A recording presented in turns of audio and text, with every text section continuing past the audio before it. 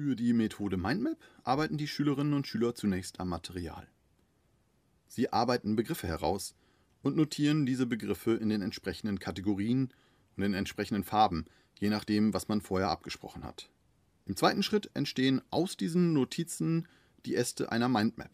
Das heißt, in der Mitte wird das Thema notiert und in den Ästen kommen die Unterthemen und die feineren Unterscheidungen zum Tragen. Eine Mindmap lässt sich digital ganz einfach auf mindmaponline.de erstellen. Diese Mindmaps haben den Nachteil, dass sie nicht von anderen bearbeitet werden können. Aber hier kann jeder Schüler eine Mindmap erstellen, ohne dass er sich registrieren muss. Außerdem ist die Seite werbefrei. So wird einfach eine individuelle Mindmap erstellt und sie kann dann auch anschließend noch weiter bearbeitet werden. Wenn man die Seite aufgerufen hat, sieht man nochmal alle Optionen, die grundsätzlich überschaubar sind. Ich kann die Mindmap speichern, ausdrucken, mit anderen teilen, aber eben nur so, dass andere sie sehen können. Ich kann die Textfarbe, die Hintergrundfarbe, die Textgröße einstellen und Bilder einfügen.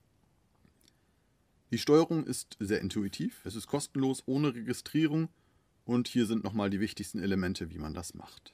Die Bedienung ist wirklich sehr einfach. Beispielsweise kann ich an dieser Stelle zeigen, mit dem rechten Mausklick können wir einen Ast löschen.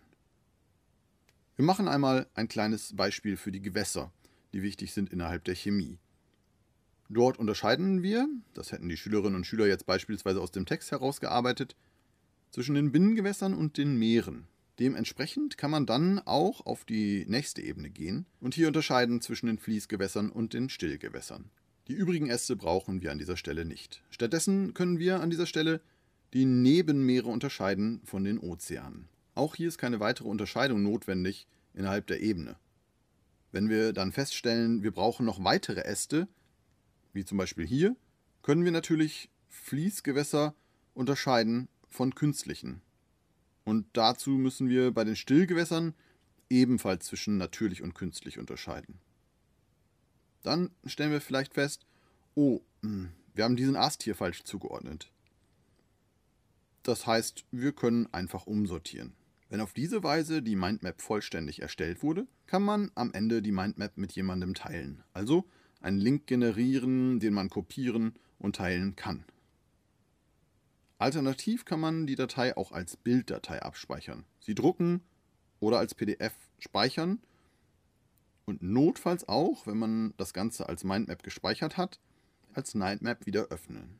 Je nach methodischer Weiterführung kann man die Mindmap also unterschiedlich weiter nutzen.